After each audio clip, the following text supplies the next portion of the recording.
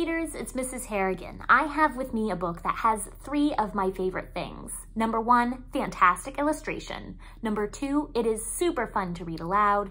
And number three, there is a funny and heartwarming surprise with a great lesson. This is Buffalo Fluffalo by Bess Kalb and Erin Kraan. When you open the book, you are greeted by a picture that you want to jump into.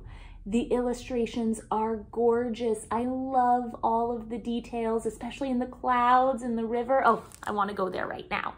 And then you meet Buffalo Fluffalo, who huffalows because he's had enough and he puts up a wall around himself. He's really gruffalo so that others stay away. And I won't show you the surprise with a great lesson afterwards, but look at these clouds and you might get a hint as to what might happen to our dear friend, Buffalo Fluffalo, and what lesson they learn about being true to themselves.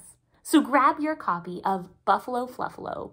Always be proud of who you are deep, deep inside and have a cozy reading day.